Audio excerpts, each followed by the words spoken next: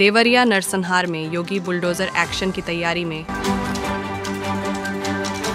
दोनों पक्षों से 33 नामजद 50 अज्ञात पर मुकदमा दर्ज। अब तक 16 गिरफ़्तार देवरिया में एक ही परिवार के पाँच लोगों और दूसरे पक्ष के एक व्यक्ति को मौत के घाट उतारे जाने के बाद अब एक्शन शुरू हो गया है। ज़मीन विवाद में पूरे परिवार को मौत के घाट उतारने के आरोपी परिवार के मकान की मापी चल रही है और अब योगी बुलडोजर एक्शन की तैयारी है। उत्तर प्रदेश के देवरिया नरसंहार में अब प्रशासन और सरकार की ओर से कार्रवाई शुरू कर दी गई है। सीएम योगी। आदित्यनाथ ने पहले ही दोषियों को किसी भी कीमत पर न बख्शे जाने का संदेश दिया है। सीएम के निर्देश पर ताब्द तौद कार्रवाई जारी है। पूर्व जिला पंचायत सदस्य प्रेमचंद यादव और सत्य प्रकाश दुबे के बीच चल रहे ज़मीन विवाद में सोमवार की सुबह छह लोगों की लाश गिरी। प्रेम यादव की हत्या के बाद सत्य प्रकाश दुबे के पाँच लोगों की हत्या कर दी गई। एक मासूम ज़िंदगी की जंग लद दे रहा है। परिवार में एकमात्र पुत्र बचा हुआ है, जो घटना के समय पाठ कराने गया हुआ था। जारी है। दावा किया जा रहा है कि प्रेम यादव ने रसूख का इस्तेमाल करते हुए सरकारी ज़मीन कब्जा कर मकान का निर्माण करा लिया था। उसकी माफ़ी का कार्य किया जा रहा है।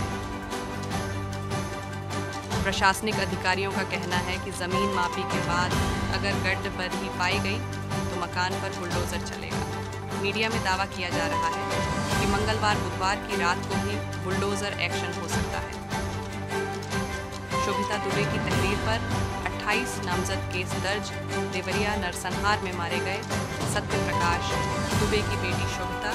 दुबे की तहरीर पर पुलिस ने प्रेम प्रकाश यादव, रामजी यादव राम भवन यादव, गोरख यादव, परमहंस यादव, देवानंद यादव, श्याम यादव, अभिषेक यादव, दुर्गेश यादव, नवनाथ मिश्र, उर्फ़ पट्टू। दिवाकर तिवारी, अमरनाथ तिवारी, पवन तिवारी श्री प्रकाश दुबे श्री राम दुबे, प्रभात दुबे वीरू दुबे, शिवम दुबे, रामायण पाल, रघुवीर पाल, सुदामा पाल, सुग्रीव पाल, सुग्रीव तिवारी, गौरी शंकर तिवारी, प्रदीप राजभर, परशुराम राजभर, बेचू राजभर समेत 28 नामजद के खिलाफ केस दर्ज किया है।